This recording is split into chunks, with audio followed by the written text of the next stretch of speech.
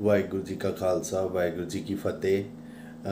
ਮੇਰੀ ਸਾਰੇ ਡਰਾਈਵਰ ਭਾਈਚਾਰੇ ਨੂੰ, ਨਵੇਂ ਬਣਨ ਵਾਲੇ ਡਰਾਈਵਰਾਂ ਨੂੰ ਸਤਿ ਸ਼੍ਰੀ ਅਕਾਲ ਜੀ।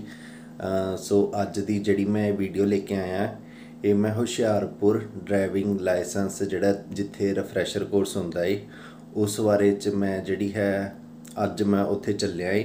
ਤਾਂ ਆਉਣ ਵਾਲੇ 1-2 ਦਿਨਾਂ ਚ ਮੇਰੀ ਹੁਸ਼ਿਆਰਪੁਰ ਡਰਾਈਵਿੰਗ ਲਾਇਸੈਂਸ ਜਿਹੜਾ ਉੱਥੇ ਰਿਫਰੈਸ਼ਰ ਕੋਰਸ ਹੁੰਦਾ, ਉਹਦੇ ਬਾਰੇ ਚ ਮੈਂ ਪੂਰੀ ਜਾਣਕਾਰੀ ਦੇਵਾਂਗਾ। ਉੱਥੇ ਰਹਿਣਾ, ਖਾਣਾ, ਪੀਣਾ, ਜਾਣਾ, ਕੀ ਕੀ ਤੁਹਾਡੇ ਕੋਲ ਡਾਕੂਮੈਂਟਸ ਹੋਣੇ ਚਾਹੀਦੇ ਆ। ਉਸ ਬਾਰੇ ਚ ਸਾਰੀ ਮੈਂ ਤੁਹਾਨੂੰ ਜਿਹੜੀ ਹੈ, ਆਉਣੇ ਵਾਲੇ 1-2 ਦਿਨਾਂ ਚ ਜਾਣਕਾਰੀ ਦੇਵਾਂਗਾ।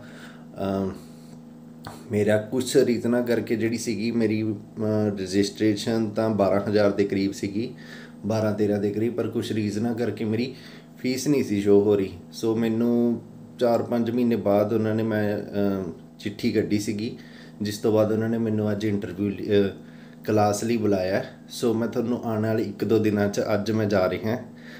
ਸੋ 1-2 ਦਿਨ 'ਚ ਮੈਂ ਤੁਹਾਨੂੰ ਜਿਹੜੀ ਹੈਗੀ ਹੁਸ਼ਿਆਰਪੁਰ ਡਰਾਈਵਿੰਗ ਸਕਿੱਲਸ ਦੇ ਬਾਰੇ ਸਕੂਲ ਦੇ ਬਾਰੇ 'ਚ ਪੂਰੀ ਜਾਣਕਾਰੀ ਦੇਵਾਂਗਾ। ਪਲੀਜ਼ ਤੁਸੀਂ ਮੇਰੇ ਨਾਲ ਬਣੇ ਰਹੋ। ਮੇਰੇ ਚੈਨਲ ਨੂੰ ਲਾਈਕ ਕਰੋ ਸਬਸਕ੍ਰਾਈਬ ਕਰੋ ਤੇ ਸ਼ੇਅਰ ਕਰਨਾ ਨਾ ਭੁੱਲਿਓ। ਧੰਨਵਾਦ।